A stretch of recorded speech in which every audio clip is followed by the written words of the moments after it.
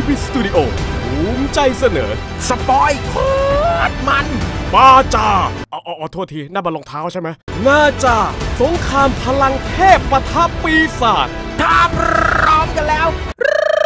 รับได้เป็นเวลานานนับพันปี พลังแห่งโลกและสวรรค์รวมตัวให้เกิดไข่มุกพลังวัด ซึ่งมันดูดซับพลังงานจากดวงอาทิตย์และดวงจันทร์ไว้ทำให้มันมีพลังเพิ่มมากขึ้นทุกวัน แต่พลังที่ผสมกันวุ่นวายนั้นทำให้พลังเทพและปีศาจนี้ไม่สามารถแยกออกจากกันได้ แล้วก็ได้มีคนมาจัดการมัน เจ้าอ้วนตุ้ยหนุยคนนี้ พี่แกชื่อว่าไทอีจนรันผมขอเรียกว่าพี่เบิ้มนะ พี่เบิ้มมันได้มาพร้อมกับมูดอุดและพุงอันมโหฬารและสิทธิ์น้องของพี่เบิ้มอีกคน พี่แกมีชื่อว่าเซินกงเป้า ผมขอเรียกว่าพี่เป้าแล้วกันนะ พี่เบิ้มพยายามขอร้องไข่มุกพลังวัดว่าให้มาจับซะดีๆนะอีดาแต่มันก็แปลงกลายเป็นอสูรตัวใหญ่ ยักษ์และต่อยพี่เบิ้มจนลอยเลี้ยวเลยครับ เป้าก็พุ่งไปสู้กับมัน แต่มันมีพลังร้ายกาจมาก แถมมันสามารถดูดพลังได้อีกด้วย พี่เป้าโดนอัดจนลอยเหมือนกันเลยครับ พี่เบิ้มโดนมันอัดจนหน้าปูดเลย พี่แกได้มาจับไอ้อสูรมัดมือทั้งสองเอาไว้ แต่ไอ้อสูรนั้นมันงอกมือมาอีกไว้ แถมต่อยพี่แก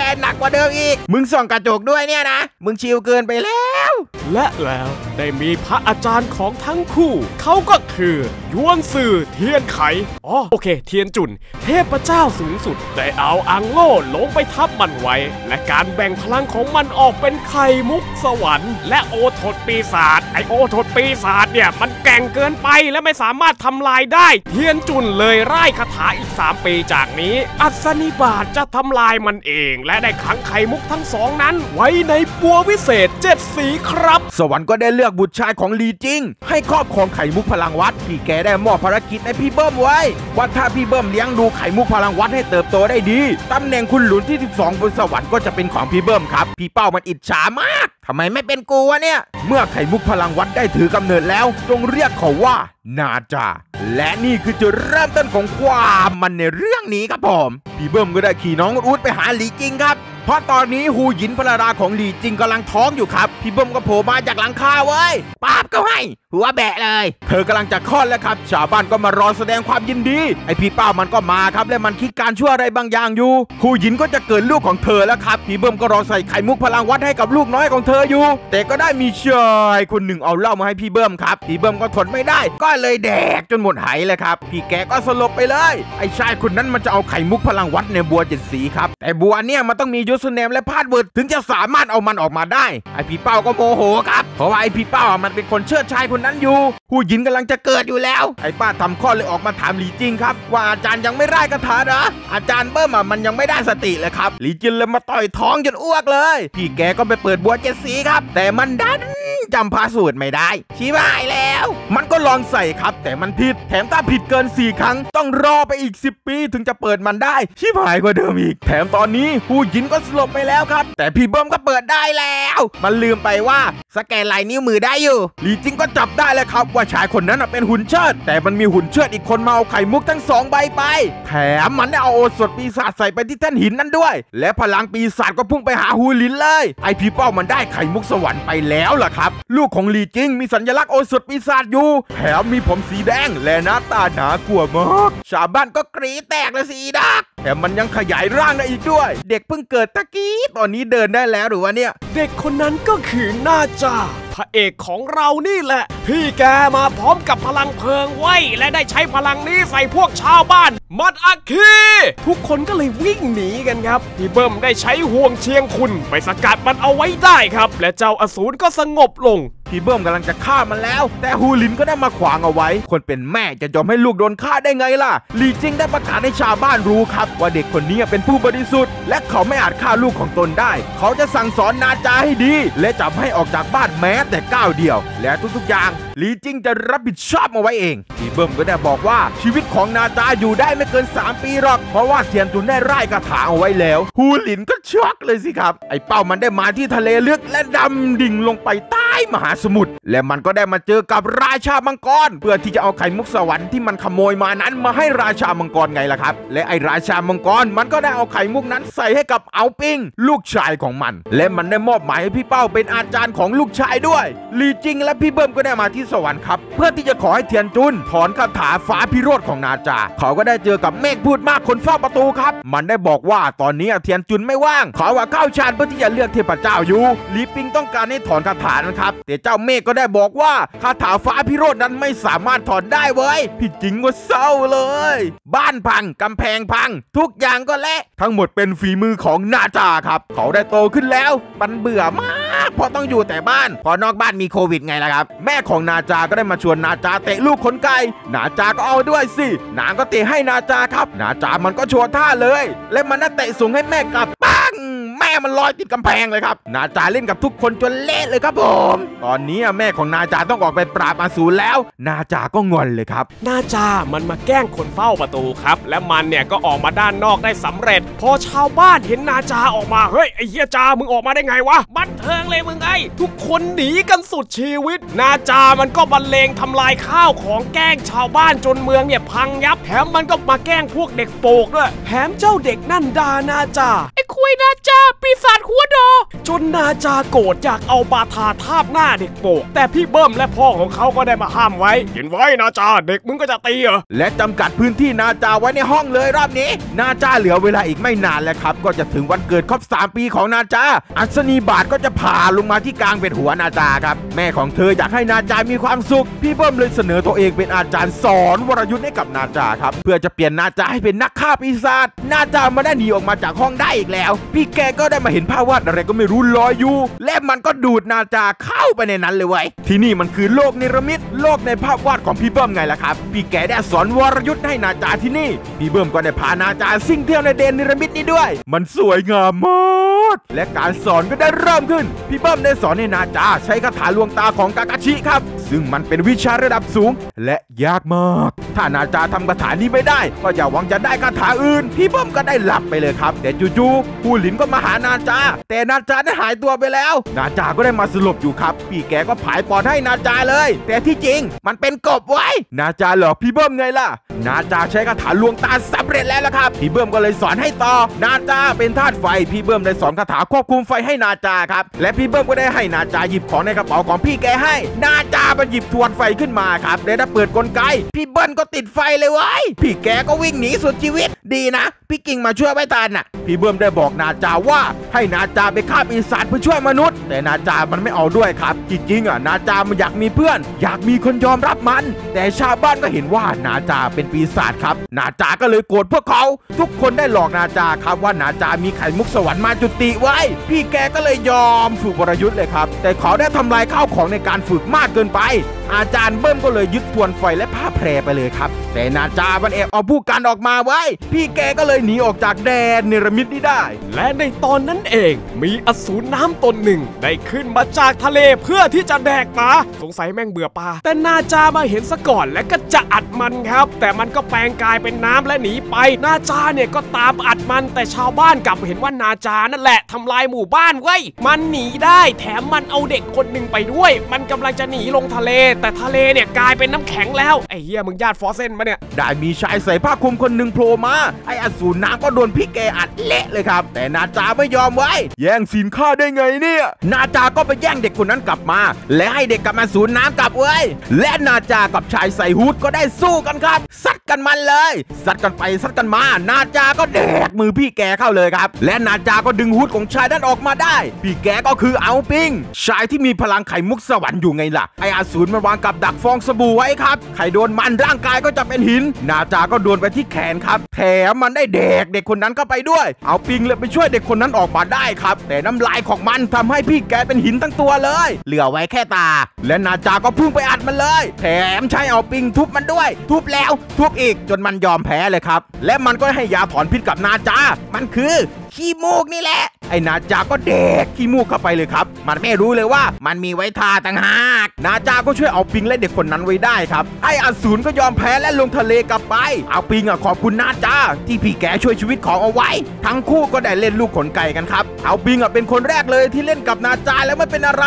ทั้งคู่ก็เล่นกันอย่างสนุกสนานครับ แต่นาจามันร้องไห้เลยเว้ย เพราะไม่เคยมีใครมาเล่นกับเขาแบบนี้มาก่อนเลย ทั้งคู่ก็เป็นเพื่อนกันแล้วครับ เอาปิงก็ได้ให้หอยสังกับนาจาว่าถ้าอยากเล่นลูกขนไกลอีก ให้เป่าหอยสั่งนี้ เอาปิงก็จะมาเล่นกับนาจาครับ และแล้วชาวบ้านก็มา แถมพาอาวุธมาเต็มเลย พวกเขาคิดว่านาจาลักพาตัวเด็กมาครับ แถมชาวบ้านก็ได้มาว่านาจาเป็นปีศาจอีก นาจาก็โมโหเลย พวกชาวบ้านก็รุมนาจาเลยครับ นาจาก็ทนไม่ไหวแล้ว ได้อัดพวกมันกลับเลย แต่อาจารย์ พ่อและแม่ของนาจาก็ได้มาห้ามเอาไว้ครับลีเจิงก็เห็นครับว่านาจานั้นได้สู้กับมาสูนน้ำจริง ๆ ตัดภาพมาที่เมืองมังกร เอาปิงได้กลับไปบอกอาจารย์และพ่อของเขาว่าปิงได้เจอกับเพื่อนใหม่ของปิงเอง ไอปีเป้าก็ได้บอกเอาปิงว่า นาจานั้นคือ โอสถปีศาจไงล่ะ เตรียมตัวฟังแรปเจ้าราชามังกรมาเตรียมแผนการไว้ว่า ในวันที่อัศนีบาทผ่าลงมานั้น โอสถปีศาจจะออกอารวาสและจะให้เอาปิงที่เป็นไข่มุกสวรรค์เป็นคนไปกอบกู้บ้านเมือง เพื่อที่ทุกคนจะยอมรับเผ่ามังกรของเราเพราะก่อนหน้านี้พวกเผ่ามังกรมีหน้าที่ปราบมาสูนใต้ท้องทะเลและขังพวกมันไว้ที่นี่เลยทำให้พวกเขาต้องคอยปกป้องพวกมันที่นี่และไม่สามารถไปไหนได้ด้วย พวกมังกรต้องการให้เอาปิงเป็นเทพเจ้า และสามารถปลดปล่อยเผ่ามังกรไปได้ไงล่ะครับ นาจาก็โดนกลับพื้นที่เหมือนเดิมครับ มันเซ็งมาก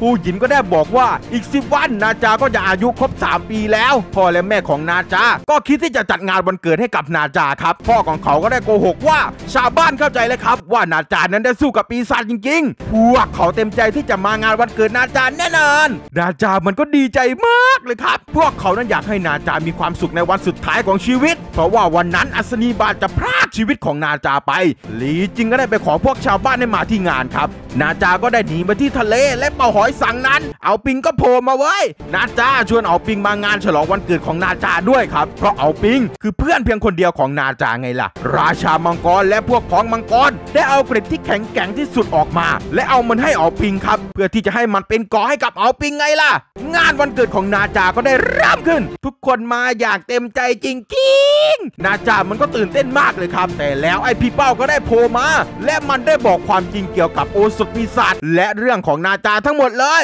นาจาก็โผล่มาที่งานวันเกิดครับ อาจารย์เบิ้มก็ได้ให้ทวนไฟ ผ้าแพรและหมูกับนาจาครับ มันน่ะเป็นยานพาหนะ ถ้าอยู่กับใครมันจะเปลี่ยนแปลงไปไว้ มันก็เปลี่ยนเป็นกองล้อให้กับนาจาเลยครับ พ่อและแม่ของนาจาก็ให้ของขวัญแก่พี่แก พ่อแกได้ให้ยันกับนาจาครับ แต่ตอนนี้ไอ้นาจามันรู้เรื่องทุก ๆ อย่างเลยครับ ว่าทุกคนนั้นรอเขาแถมพี่แกก็ร่ายคาถาเอาห่วงเชียงคุณออกด้วย พลังที่ถูกสะกดเอาไว้ก็พุ่งออกมาเลยครับ แถมนาจาก็กลายเป็นหนุ่มเลยพลังก็มาเต็มเลยครับรอบนี้ ชาวบ้านก็วิ่งหนีตายสุดชีวิต นาจาได้มาสู้กับพ่อของเขาครับพี่เบิ้มก็มาช่วยสู้อีกแรง และตึงนาจาเอาไว้ได้ ไอพี่เป้าได้บอกเอาปิงว่า ใช้ห่วงเชียงคุณไปช่วยชาวบ้านและสะกดนาจาเอาไว้ และทำให้ทุกๆคนคิดว่าเจ้าคือฮีโร่และยอมรับเจ้าให้ได้ มันได้บอกความจริงครับ ว่ามันเป็นเผ่าเสือดาวที่มีแต่คนรังเกียจคราวนี้แหละ พวกมันจะมาบูชาเรา นาจาก็สู้กับทั้งสองต่อไว้ และสามารถจับพ่อของเขาได้แล้ว นาจาก็คว้างทวนไฟใส่พ่อเขาเลย แต่เอาปิงก็ได้มาขวางไว้ทันครับ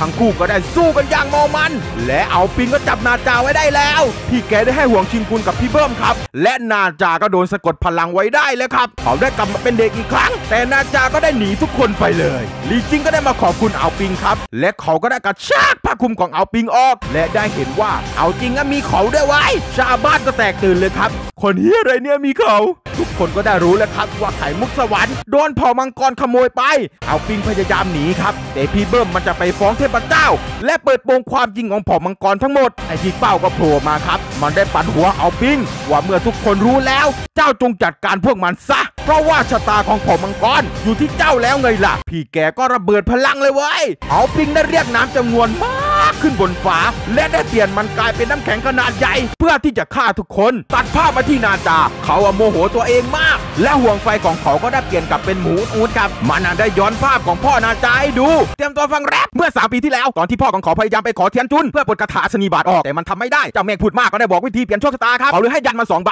และมันสามารถเปลี่ยนคนที่โดนอัศนีบาทได้เพียงแค่เอาอีกใบนั้นไปแปะไว้ที่หลีจิงและอีกใบนั้นแปะไว้ที่นาจาของขวัญวันเกิดที่พ่อนาจาให้มันก็คือยันใบนั้นไงล่ะนาจาก็อึ้งเลยครับพ่อและแม่ของนาจาก็พยายามสู้กับเอาปิงครับ แต่มันมีเกตมังกรเลยทำอะไรมันไม่ได้เลย แถมพ่อแม่ของนาจาก็โดนแช่แข็งเลย แต่แล้วนาจาก็กลับมาเว้ยและรอบนี้นาจาก็ได้เปลี่ยนไปแล้วครับ พี่แกจะหยุดเอาปิงให้ได้ เอาปิงก็ได้สู้กับนาจาซัดกันไปซัดกันมา นาจาก็ได้แปลงกายตัวเองเป็นพี่เป้าอาจารย์ของมันครับ จนเอาปิงนี่งงเลย นาจาก็หนีครับ และได้เปลี่ยนอาวุธกับพี่เป้าตัวจริง เอาปิงก็คิดว่าอาจารย์ของมันเป็นนาจา ก็เลยอัดอาจารย์ตัวเองเลยครับ พี่เบิ้มก็ได้เอาแผ่นภาพออกมาทำให้ทุกคนเข้าไปในแดนเนรมิตนั้น ทั้งสี่ได้สู้กันเพื่อแย่งผู้กัน สู้ไป สู้มา สู้มาและก็สู้ไป จนทั้งสี่ติดแงกอยู่เลยครับ นาจามันได้เอาส้นตีนวาดรูปครับทำให้ทุกคนกระเด็นมั่วตัวไปหมดเลย ทั้งสี่ก็ออกมาได้ ไอเอาปิงมันจะฆ่าพ่อและแม่ของนาจา แต่นาจาก็ได้มาขวางทั้งคู่เอาไว้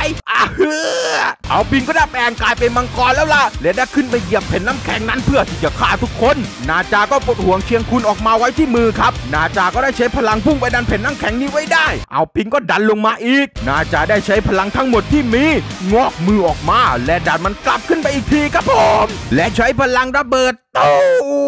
มแผ่นน้ำแข็งนั้นก็ถูกทำลาย นาจาได้ใช้ผ้าแพรไปจับเอาปิงเอาไว้ และนาจาก็เอาชนะเอาปิงได้แล้วเว้ย แต่นาจาไม่ฆ่าเอาปิงครับเพราะเขาจะเป็นเพื่อนเพียงคนเดียวของนาจา นาจาได้มาทิ้งท้ายกับเอาปิงว่า ไม่มีโชคชะตาหาเหวอะไรทั้งนั้นแหละข้านี่แหละจะคุมโชคชะตาของตัวเอง นาจาก็ได้ใช้ผ้าแพรมัดพ่อและแม่ของตัวเองเอาไว้ครับ แถมพี่แกได้ฉีกแผ่นยันนั้นทิ้งด้วย เพราะว่านาจาจะยอมรับโชคชะตาของนาจาไว้เอง นาจาก็ได้บอกครับว่า 3 ปีที่ผ่านมา มันเป็นอะไรที่สนุกมาก แต่เขาก็เสียใจอยู่อย่างหนึ่งครับก็คือ นาจาไม่เคยเล่นลูกขนไก่กับพ่อของเขาเลย และนาจาก็ได้กราบขอโทษทั้งคู่ครับ อัศนีบาทก็มาแล้วครับ นาจาก็โดนดูดขึ้นไปเลย พ่อและแม่ของนาจานี่เสียใจมากเลย และก็ปั ง อัศนีบาทก็ได้ฝ่าลงมาที่นาจาเลยครับ พลังของปีศาจนั้นต้านเอาไว้ไม่ไหวแล้ว แต่จู่ๆเอาปิงก็เข้ามาด้วยไว้เขาพยายามช่วยนาจา เพราะนาจาก็คือเพื่อนเพียงคนเดียวของเขาเหมือนกันพี่ปิงได้ใช้เกตมังกรกันสายฟ้านั้นไว้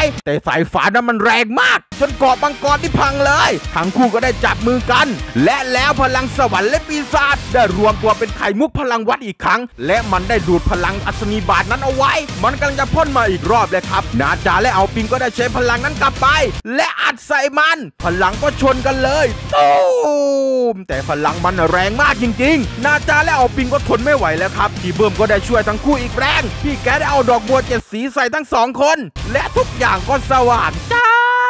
ชาวบ้านทุกคนก็รอดตายครับ ด้วยพลังนั้นทำให้เกิดบ่อขนาดใหญ่กลางหมู่บ้านเลยครับพ่อและแม่ของนาจา ก็พยายามหานาจาครับ ผู้ลินก็ได้เจอกับบัวเจ็ดสีมณีเจ็ดแสง ในนั้นมันเก็บพลังไข่มุกทั้งสองเอาไว้ได้ ตอนนี้นาจาและเอาปิงก็ได้ตายไปแล้วครับ แต่บัวเจ็ดสีนี้ได้เก็บวิญญาณของทั้งคู่เอาไว้ได้ ชาวบ้านทุกคนก็ยอมรับในตัวของนาจาแล้วครับ นาจานี่ถึงกับอึ้งเลย และเรื่องราวของศึกพลังเทพและปีศาจที่โคตรมันก็ได้จบลงไปสำหรับคลิปนี้นะครับผมขอขอบคุณพี่เจมส์ JCB Studio มากเลยนะครับ ขอบคุณมากจริงๆ หวังว่าจะได้ร่วมงานกันอีกนะครับผมสำหรับคลิปนี้นะครับ ก็มีอะไรผิดพลาดประการใดเชื่ออะไรผิด ผมก็ขออภัยด้วยนะครับ ถ้าชอบก็กดไลค์แชร์ก็กดแชร์และอย่าลืมคอมเมนต์กันด้วยนะครับสำหรับคลิปนี้ผมก็ขอลาไปก่อนแล้วล่ะ ไปละจุ๊บ